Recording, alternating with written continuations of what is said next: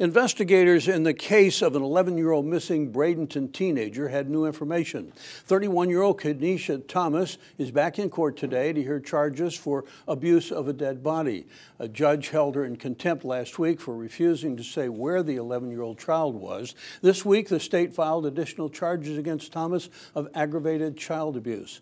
Police say Thomas dropped off a freezer at a relative's house that contained a dead body.